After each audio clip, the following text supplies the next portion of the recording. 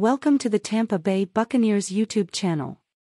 We're the Super Bowl winning team and we're excited to bring the latest news and highlights to you, our loyal fans.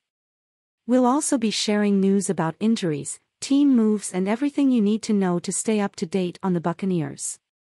So if you're a Buccaneers fan, be sure to subscribe to our channel and turn on notifications so you don't miss out on what's to come in this exciting season. Without further ado, let's get to the video. Bucs officially announced the signing of Matt Feiler. The Tampa Bay Buccaneers officially have their new offensive lineman.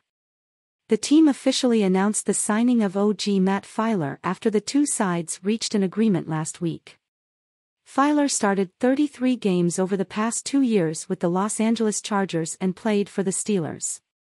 Feiler will compete for one of Tampa Bay's two open guard spots, although his starting experience makes him a very likely candidate to land one of them. Feiler had a strong 2021 as he was the fourth highest ranked PFF defender that year, but saw a significant decline in 2022 which resulted in his release.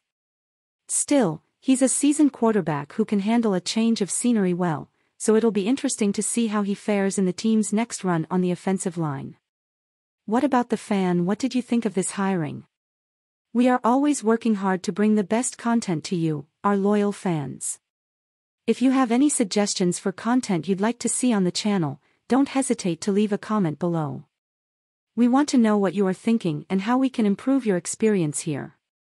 Don't forget to subscribe to our channel and turn on notifications to be the first to hear about Buccaneers news.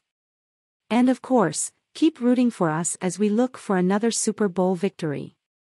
Thanks for watching.